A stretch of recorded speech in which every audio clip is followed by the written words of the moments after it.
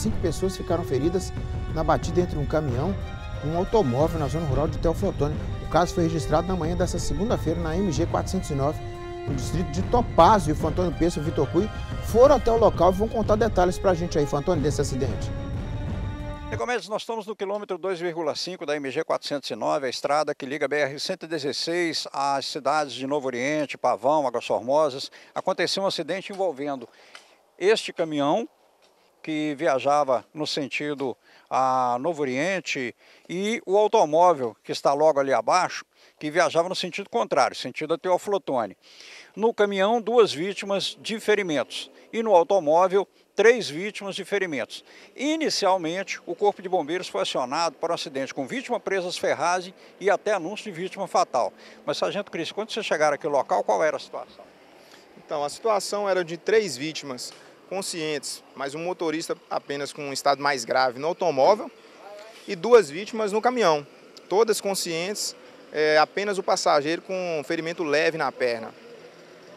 Chegando no local, as duas, dois passageiros do automóvel já teriam sido retirados pela equipe do SAMU, já estavam na ambulância, e o motorista estava preso às ferragens ainda. O Corpo de Bombeiros utilizou técnicas de salvamento e com a equipe de apoio aqui a gente conseguiu retirar o motorista de dentro do veículo após fazer toda a estabilização e garantir a segurança da cena. Agora, Fantoni, nós estamos realizando aqui o trabalho final né, da ocorrência, que é para garantir que não ocorra novos acidentes. Né? Visto aqui que o caminhão derramou bastante óleo na pista, né? e esse trabalho aqui é para, para prevenção, né? para que não ocorra novos acidentes. Agradecer ao Sargento Christian, a Polícia Militar Rodoviária está no local e fez o, o registro, há uma informação de que alguns acidentes graves já aconteceram aqui nesse trecho da MG 409. Chegar aqui para mim conversar com o Sargento Valdeci. Sargento Valdeci, esse local aqui é propício para acidentes dessa amplitude? Correto, infelizmente sim, porque como já disse anteriormente, aqui é bastante curvas e curvas sinuosas. Infelizmente é propício porque o pessoal não mantém a distância de segurança e também a velocidade compatível com a via. Já sabe o que, que provocou esse acidente, sargento? É, segundo os condutores, o do veículo menor e o do veículo Celta não se recorda. O condutor do caminhão, segundo ele, o Celta invadiu a pista. Ao fazer a curva, não deu conta e invadiu a contramão, ocasionando aí o sinistro. Uma recomendação para evitar esse tipo de acidente, sargento? Ok, é manter, né, fazer a vistoria do veículo, dos veículos, né?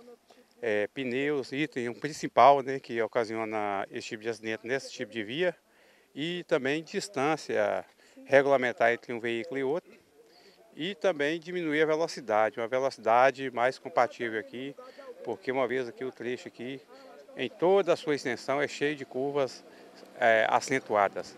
Quero agradecer ao Sargento Valdeci, os parentes das vítimas começam a chegar aqui ao local, mas as vítimas já foram levadas para atendimento médico especializado em teoflotone.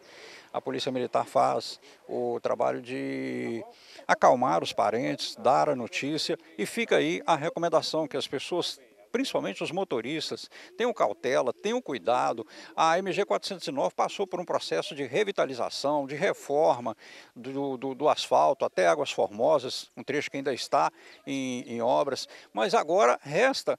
Antes eram os buracos, Agora que a pista está em boas condições, há necessidade que os motoristas, conforme disse o sargento Valdeci, pratiquem a direção defensiva e respeitem a legislação de trânsito. Logo mais do MG Record, mais detalhes a respeito desse acidente. Antônio Peço para o Balanço Geral.